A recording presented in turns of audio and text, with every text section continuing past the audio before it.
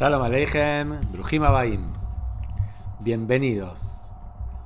Se cuenta que Rabia Akiva y su esposa Rachel tenían una hija, una hija hermosa, una hija muy buena y de muy buen corazón. Esa hija creció, fue creciendo, la fueron educando con mucho amor, se comprometió, se puso de novia y posteriormente preparativos para la boda un casamiento más alto, qué alegría. Iban todos preparando con mucha alegría, con mucha preparación, pero, pero, pero, había una preocupación que estaba dando vueltas en el ambiente, en el aire. ¿Qué preocupación había?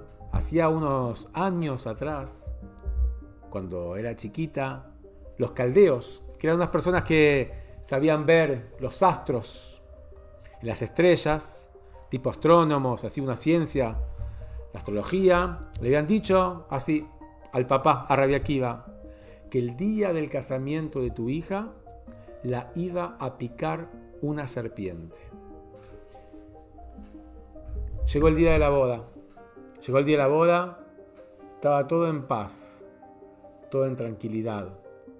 Había muchos invitados, invitados muy importantes, Akiva era una persona muy querida por todo el pueblo de Israel. Y estaban todos los invitados que fueron ahí para alegrar a los novios. Estaban bailando y cantando, alegrando a los novios, como dije recién. Entre paréntesis, quiero aclarar que la misión, cuando una persona es invitada a un casamiento, esta es la misión con la cual vos vas. Alegrar a los novios no sos vos el invitado, el homenajeado, a ver qué hay de comer, a ver qué me pongo y cómo me visto y cómo me ven. Tu misión es ir y alegrar a los novios. Sabelo, tenelo en cuenta. Volvemos a nuestra historia. ¿Qué pasó? Esa noche había muchos bailes, mucha alegría, pasaban los mozos con las bandejas sirviendo de acá y para allá. Y nadie se percató que en la puerta del salón había un hombre pobre, hambriento, mirando con ojitos deseosos cómo pasaban las bandejas delante de sus ojos. Y él dijo, denme algo de comer, por favor, tengo mucho hambre.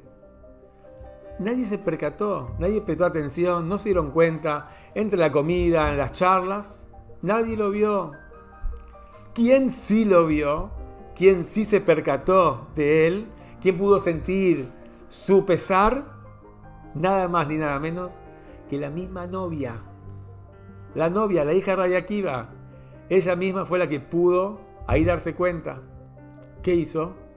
Ella agarró la porción de comida que su papá, el mismo Rabia le había servido. Agarró ella la porción y se la llevó al pobre. Nadie se dio cuenta, estaban toda la gente en sus cosas, nadie se dio cuenta. Y volvió. Y ni siquiera nadie se dio cuenta que ella, en la noche de su boda, no había probado un bocado de la comida que le habían servido. A la noche, cuando ya terminó la fiesta, se fue a su pieza, a su habitación, y ella tenía en la cabeza un pañuelo que estaba atado con un prendedor, era un prendedor así, esos que son como una aguja, era una aguja de oro hermosa, y ella no quería perderlo, y vio que en la pared había dos piedras y había una endija, ching, la clavó ahí en la pared y se fue a acostar. Hasta ahora todo en paz. ¿Qué pasó? A la mañana siguiente se levantó. Se levantó estaba viva. Se levantó. Fue a agarrar el prendedor, esta hebilla que estaba en la pared. Se sorprendió y se asustó mucho porque vio que había en el extremo una víbora muerta que ella, sin darse cuenta, cuando clavó el prendedor en la pared, la había matado.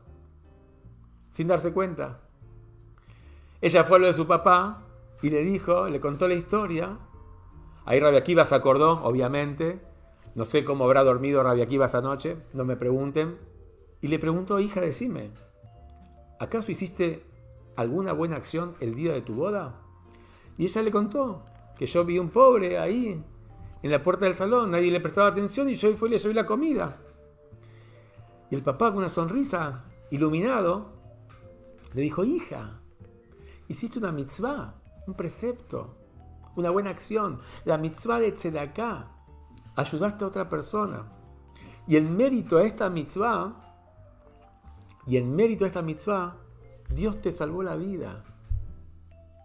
Es decir, que la hija de Rabbi Akiva, a pesar del designio que se había visto en el cielo, ella salvó su vida con la mitzvah de acá.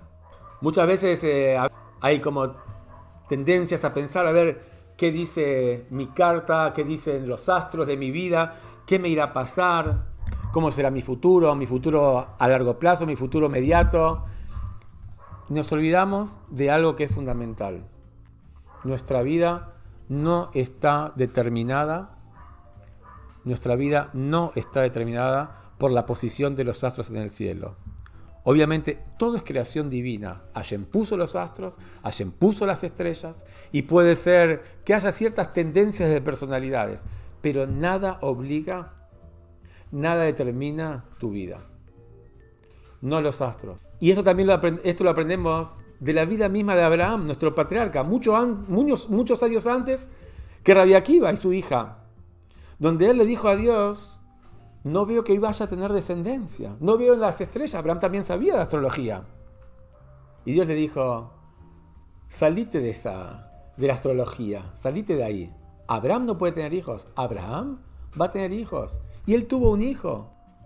A sus 100 años nació su hijo Isaac y lo demás ya es historia. Estamos acá todos, milagrosamente estamos todos acá. Es decir, nosotros en la vida pasamos un montón de dificultades, desafíos. Vos tenés, ante el desafío diario que tenés en tu vida, esa libertad de elegir cómo vas a actuar. Nada nos va a quitar a nosotros esta posibilidad de hacer de este mundo un mundo mejor. Dios tuvo un deseo de hacer de este mundo una morada para Dios. Y eso depende de vos, de tu elección. No está determinado por ningún astro. Así que bueno, cuando mires para arriba, no busques saber qué va a pasar con vos mañana o dentro de 10 años. Mirá para arriba para conectarte con Dios, conectarte con tu misión en el mundo y busca ser la mejor versión de vos mismo en base a tu propia elección. Bueno, hasta luego, que tengan un buen día, nos vemos en la próxima historia. אנחנו מאמינים